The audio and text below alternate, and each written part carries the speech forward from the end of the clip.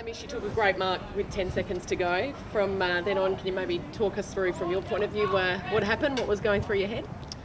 Oh, look, obviously it was a pretty intense, close game, and yeah, I was lucky enough to take the mark at the end, and it's every kid's dream really to kick a goal after the siren, and yeah, I just went back and tried to stick to basics, stick to my routine, and, and kick the goal, but uh, unfortunately it wasn't to be, and you know it's obviously very disappointing, and it's been tough 24 hours, but yeah, you got to move forward and look forward to for this for this week. This week. When you took that mark, did you have any idea sort of how long there was on the clock? Did you think you still had a couple of minutes, or?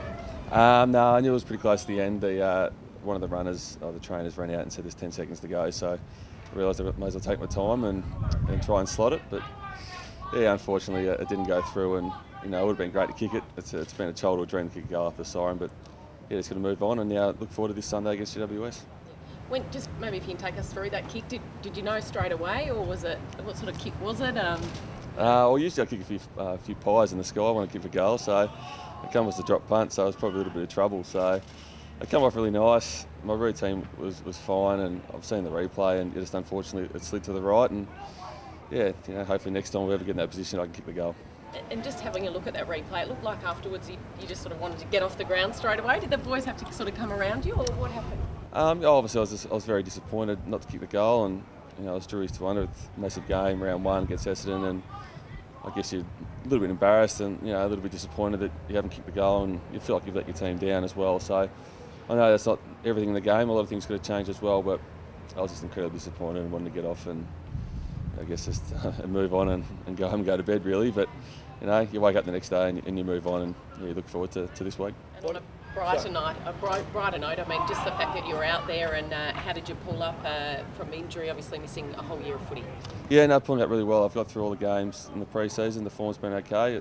Uh, on Saturday night, the form wasn't too good. I don't think I played too well, and so I need to improve on that a little bit. But um, no, it's just good to be back out there and not stuck in the rehab, but the rehab room and on the bike and in the pool. It's just great to be playing footy again with, you know, with 45 of your mates out in the training track, and that's what you love most. What did Brad Scott say to you?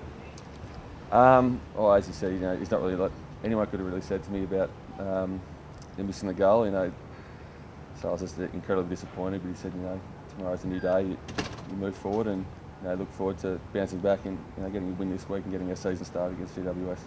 Did you get any advice, Hamish, before you took the kick from, from your teammates? To be honest, it was that loud, yeah. I, I, couldn't hear a thing out there. So I was, I was just mainly talking to myself and making sure I just go back and, yeah. and do the simple things and make sure I stick to my routine and yeah, hopefully kick the goal. And yeah, yeah but unfortunately, uh, as we all know, uh, it sailed right. What about in the rooms afterwards? The teammates sort of got around you and sort of, I suppose, let you know it wasn't uh, wasn't your fault. Yeah, yeah, no. The, I must admit the support I've had and um, the amount of messages I've had over the last 24 to 48 hours has been unbelievable and it's a bit overwhelming to be honest. So it's great to see so many people care and make sure you're, you're all right and you know it was just great and it, it, makes you feel a lot better about yourself. So and in the end, you know, I'm ready to get back into training today and help the boys hopefully get a win this week. Yep. How do you find back out there with, with Todd? Um, obviously under the, the sub rule. I know you played the one game last year, but uh, does it feel a little bit different, sort of, um, I suppose, rotating a bit more heavily through the forward line? Um, yeah, I guess it's just back to the role we played in 2010. So we, we, played a lot more forward and, and ruck. So it's just getting used to our, our partnership again. And through the pre-season, it worked pretty strongly. I thought on the weekend, Todd and I got outplayed by Ryder on Hille. So it's you know we're going to have to have a big week on the track this week and yep. look to bounce back this week and yeah, hopefully uh, get back to some of our best form that we showed through the pre-season. You head to Tassie this weekend. It's almost the start of a, a new era for the club, isn't it? So no, it's, it's, very exciting. I think it's a, it's a great initiative and great thing the club have done and uh, we're excited about our two games down there at Hobart, and it, it starts this week um, against GWS. And hopefully, we've got a big crowd down there, a big Kangas turnout, and it'll be uh, yeah, great to see us get our first win of the season. Did you get any sleep Saturday night? Uh, no, no. Was, my eyes were pretty much uh, popping out of my head here on Sunday. I didn't I heard about the kick run through my head about 2,000 times and 2,000 different scenarios. So I could tell you exactly where it floated, exactly where it finished, where uh, who punched on the line. So um, no, I didn't get too much sleep, but uh, no, last night I definitely slept pretty well. Would you love to have another crack at it?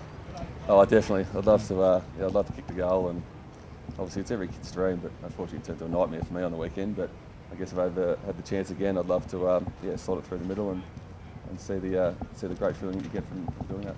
Did you have a couple of shots at uh, recovery yesterday? No, no, I didn't do too much at recovery yesterday. I was, um, bit, uh, yeah, just a bit, bit sore, but I'm sure I'll get out there this week and.